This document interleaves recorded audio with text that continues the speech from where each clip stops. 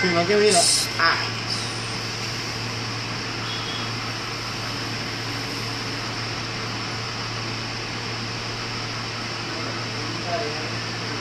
Hindi mo naman.